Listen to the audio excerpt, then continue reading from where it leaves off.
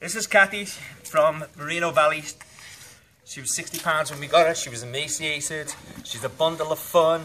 She's a lot of bundle of fun. And now she's 120 pounds. This girl we rescued. And now we're going to take her to Canada. She's going to have a forever home there.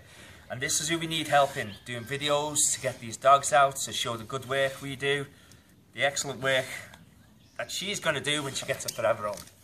Thank you, Cassie. And thank you, Compton Unified School District.